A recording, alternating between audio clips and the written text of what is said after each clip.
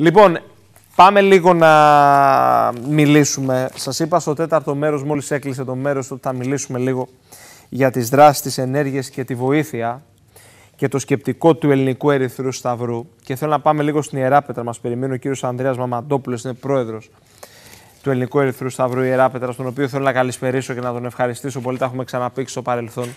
Την καλησπέρα μας κύριε Μαμαντόπουλε.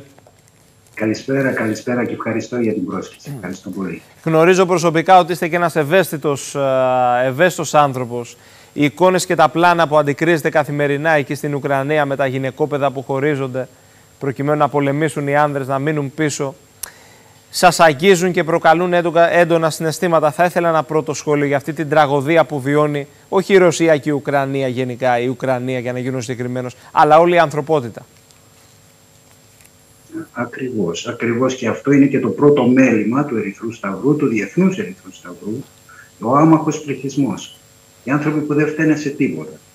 Οι οποίοι είναι απλοί παθητικοί θεατές και θα υποστούν το μεγαλύτερο μέρος των συνεπειών. Τα μικρά παιδιά, τα νεογνά που γεννιούνται στα υπόγεια, τα παιδιά με ογκολογικά νοσήματα που βομβαρδίζονται, τα σχολεία, οι υποδομές, Αυτά όλα έχουν τεθεί ήδη από τον Ερυθρό Σταυρό, από τους διεθνείς αντιπροσώπους και προς τους δύο αντιμαχόμενες πλευρές. Και αυτό που δεν μπόρεσαμε να αποφύγουμε, που είναι ο πόλεμος, τουλάχιστον να υποχρεωθούν οι εμπλεκόμενοι να εφαρμόσουν το δίκαιο κατά τον πόλεμο. Γιατί υπάρχει και τέτοιο δίκαιο. Και αυτό περιλαμβάνει πολλά πράγματα, στα ναι. οποία εκεί που εστιάζει ο Ερυθρός Σταυρός, είναι αφενός μεν η χρήση οπτικών συστημάτων που να είναι συμβατά με το σκοπό, δηλαδή δεν μπορείς να πυροβολάς το σπουργίτη με το κανόνι, δικαιούσες φεντόνα ή το πολύ πολύ ένα αεροβόλο, εάν και εφόσον πεινάς. Μόνο τότε δικαιούσε. Είναι ο άμαχος πληθυσμός όπως το αναφέρατε, που βεβαίως αγγίζει όλους μας. Είναι η προστασία των υποδομών κοινής ωφέλειας, που είναι το νερό, το ρεύμα, τα νοσοκομεία, τα άλλα προνοιακά ιδρύματα, τα σχολεία είναι τα τρόφιμα που βλέπετε ότι έχουν αδειάσει τα ράφια και επίσης ο Ερυθρός Σταυρός υποχρεούται και προβλέπεται και από το Διεθνές Δίκαιο να επισκεφθεί αντιφρονούντες στις φυλακές. Κύριο μέλημα που προσπαθούμε να το υλοποιήσουμε αυτή τη στιγμή που κουβεντιάζουμε είναι η επίσκεψη των εχμαλώτων πολέμου, στα στρατόπεδα εχμαλώτων, η φροντίδα των τραυματιών, η ασφαλής διέξοδη του άμαχου πληθυσμού, το οποίο επιβλέπει ο Ερυθρός Σταυρός και προσπαθεί να το διασφαλίσει όσο καλύτερα γίνεται, βεβαίως οι πρόσφυγες και ένα άλλο μεγάλο κεφάλαιο από τα τραγικά καθήκοντα του Ερυθρού Σταυρού είναι η επιστροφή των νεκρών. Επίσης, σύμφωνα με την ανακοίνωση του Προέδρου της Διεθνούς Επιτροπής του Ερυθρού Σταυρού, κατέστησε σαφές και στις δύο πλευρές ότι δεν δικαιούνται να χρησιμοποιήσουν νέες τεχνολογίες και κυβερνοεπιθέσεις που παραβαίνουν το διεθνές δίκαιο, το ανθρωπιστικό δίκαιο. Δηλαδή δεν μπορείς ηλεκτρονικά να πεις ότι, δεν μπορεί κανείς να πει ότι ναι, δεν βομβάρισα ε, τις δομές υδροδότησης, αλλά ηλεκτρονικά τις έχω κόψει. Αυτό είναι ένα παράδειγμα, αλλά βεβαίως είναι πολλά τα παραδείγματα έτσι, αυτούς του καινούριου πολέμου, του σύγχρονου των κυβερνοεπιθέσεων και είναι πολύπλευρη δουλειά που έχει να κάνει ο Ερυθρός Σταύρος εκεί. Σύμφωνα με την ανακοίνωση του Διευθυντή Ευρώπης και Κεντρικής Ασίας, του Ερυθρού Σταυρού, αυτή τη στιγμή για να μπορέσει να αντιμετωπίσει όλα αυτά τα μαζευόμενα που μαζεύτηκαν τα προβλήματα αυτά, αυτή τη στιγμή χρειάζεται ο Ερυθρός Σταυρός εκεί 244 εκατομμύρια. Πέρα από αυτό όμως είναι οι πρόσφυγες που έχουν περάσει τα σύνορα Μόνο τα πολωνικά σύνορα υπολογίζεται ότι έχουν περάσει κοντά 300.000 πρόσφυγες. Ε, είχαμε μια πληροφόρηση το πρωί για 211, μέχρι να μεσημεριάσει έγινε 280 και ο αριθμός αυξάνει. Εκεί δραστηριοποιείται πάλι ο Ερυθρός Σταυρός για να προσφέρει βοήθεια στους πρόσφυγες και βέβαια και ο Ελληνικός Ερυθρός Σταυρός θα συμβάλλει υποστηρίζοντας τον Ουκρανικό Ερυθρό Σταυρό μέσα ναι. από τη Διεθνή Επιτροπή για τις περιπτώσεις πολέμου να ξεκαθαρίσει ότι εμπλέκεται η Διεθνής Επιτροπή. Το Federation, η Ομοσπονδία είναι για τις καταστροφές. Έχουν φτάσει και μέλη ε, από άλλες χώρες πέραν της Ουκρανίας στο εσωτερικό της Ουκρανίας. Μέλη του. Σταυρίστε και δυστυχώς ήδη χάσαμε και ένα μέλο σκοτώθηκε σήμερα. Μάλιστα. Οπότε από διάφορες περιοχές, τραγική αυτή που μας μεταφέρετε, βέβαια. Ναι, αυτά τα ρυθμίζει πάντα το κέντρο, η Γενέβη. Και βέβαια αυτοί που επιστρατεύονται είναι οι γειτονικότεροι. Δηλαδή αυτή τη στιγμή είναι από τις γειτονικές χώρες.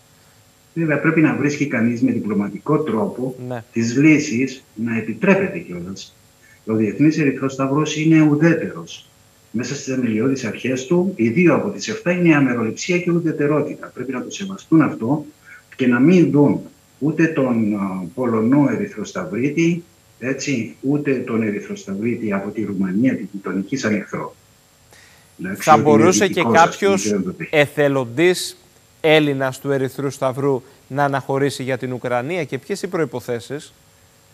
Κοιτάξτε, οι προποθέσει συμμετοχών μας, όπως έγινε ας πούμε, με το τσουνάμι της Νοτιοανατολικής Ασίας, όπως έγινε στο Γιουγκοσλαβικό πόλεμο, όπως έγινε στου σεισμού της Τουρκίας, Αυτά τα συντονίζει και έχει δίκιο που το κάνει αυτό έτσι, η, η Διεθνής Ομοσπονδία, έτσι, το Federation.